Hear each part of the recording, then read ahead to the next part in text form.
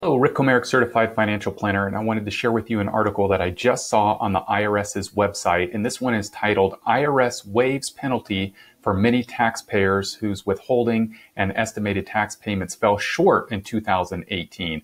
So let's dive into it and take a look at this article. Like I said, this was just published last month, January 16. And what they said is that the IRS announced that they are waiving estimated tax penalty for many taxpayers whose 2018 federal income tax withholding and estimated tax payments fell short for their total tax liability for the year. Um, however, there's a little more detail than that, and that is this that the IRS is generally waiving the penalty for any taxpayer who paid at least 85% of their total tax liability during the year through federal income tax withholding, quarterly estimate tax payments, or a combination of the two. The usual threshold is 90% um, in order to avoid the penalty. They say that this was announced in order to give relief to taxpayers who were unable to properly adjust their withholding and estimated tax payments to reflect the array of changes under the Tax Cut and Job Act. Uh, this far reaching tax reform was enacted in December of 2017.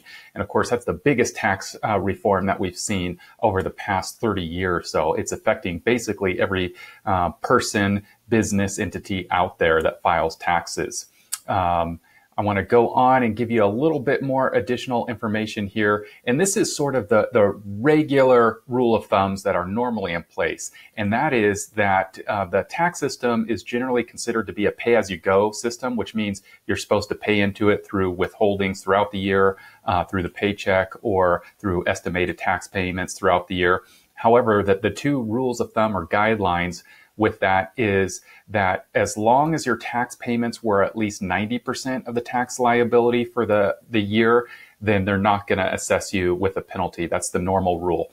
Or you could have uh, payments that equal at least 100% of your prior year's tax. If that's the case, then again, they're not going to assess you with uh, late um, penalties or underpayment penalties, as it were, if, if um, you know, your taxes end up being more than that. If you have any questions about this, the tax relief, the, the new Tax Cuts and Job Act, and how it pertains to your personal financial situation, feel free to give me a call anytime.